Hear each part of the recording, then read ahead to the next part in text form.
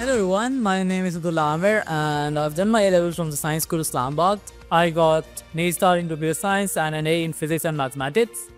And currently I'm doing my bachelor's in computer science. Doing my Cambridge A levels, I have done many key skills. First of them being uh, analyzing the ability to analyze a problem because I'm doing computer science and it's a very important skill that you must know.